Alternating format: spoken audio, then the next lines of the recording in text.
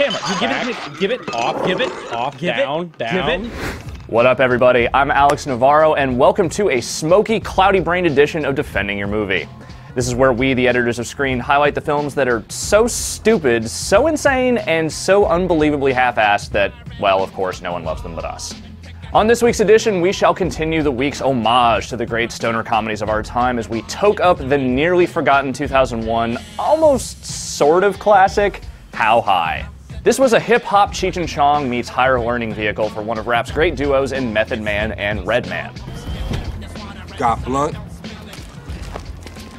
Got weed? At the time, Meth and Red were some of the biggest best selling names in hip hop, and a movie comedy featuring the perpetually stoned pair seemed, well, completely reasonable.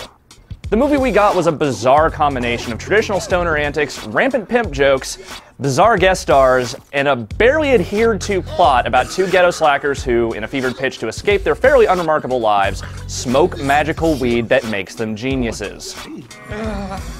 We, let me let me back up for a second here, because you probably want to know just how that weed became magical, right? Well, let's just say it involves smoking weed grown from the ashes of a former friend of theirs whose tragic death and eventual regrowth leads to his ghost appearing at the moment of prime stonedness to tell them all the answers on their tests. So, there you go. This ghostly cheating gets Meth and Red into, of all places, Harvard. As you might expect, this leads to some perfectly stuffy protest from the local administration.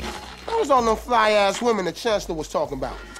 I mean, so far, only seen some stuck up, nerdy ass looking women there.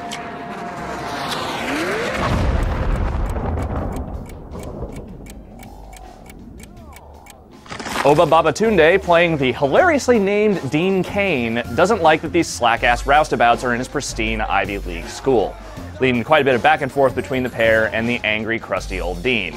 It is a college comedy after all, so of course the dean is an asshole, and slackers are the heroes. Will you stop your damn sniveling, son? Buck up, Bart! Buck up! Institutions in these films demand to be taken down a peg, if not two.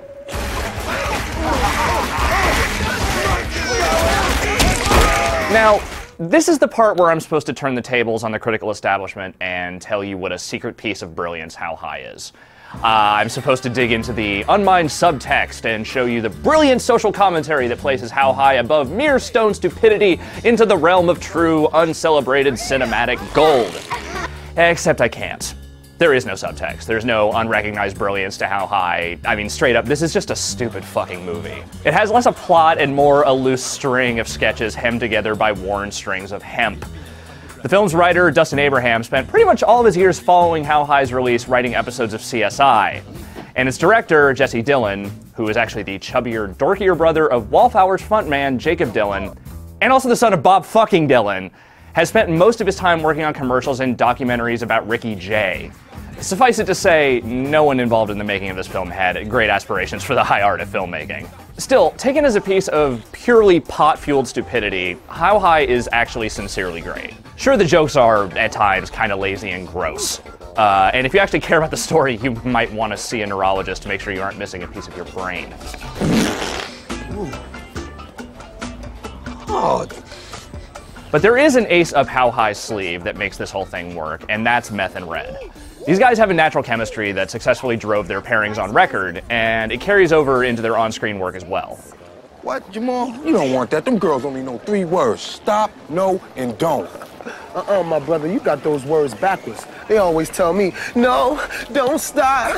Excuse me. player, player. As dumb as this dialogue can be, they sell it, and damn it if it isn't inexplicably funny, even when you aren't, um, you know, aided by substances, shall we say?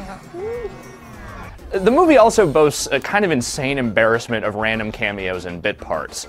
Just to name a few, you've got Fred Willard as the school president, Jeffrey Jones, before everyone was totally creeped out by him, as the vice president of the US of A, Lisa from Saved by the Bell, Mike Epps as a slap happy pimp, Pay that shit.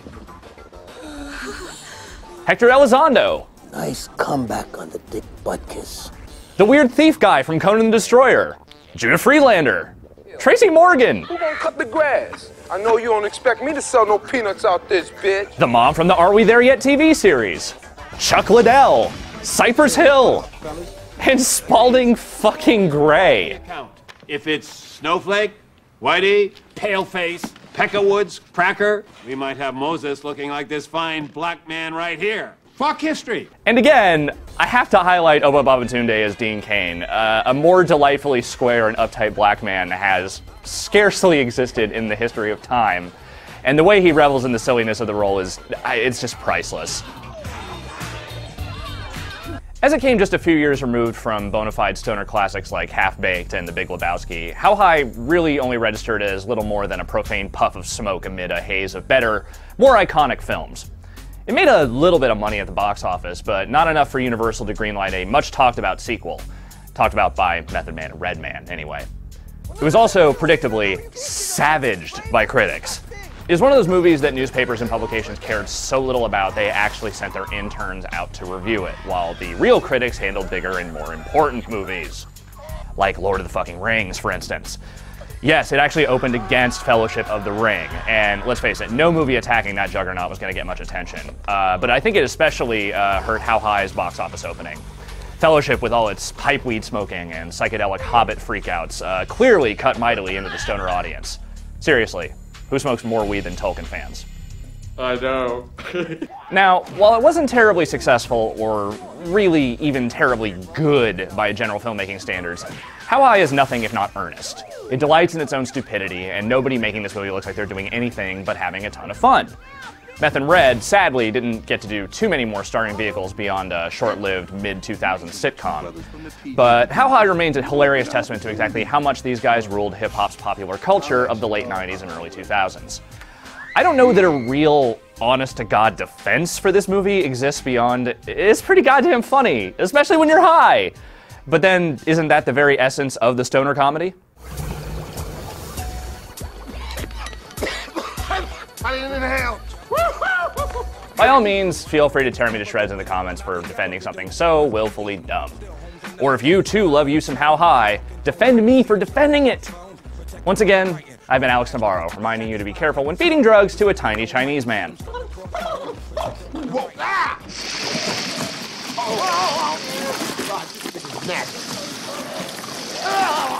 What the fuck is that?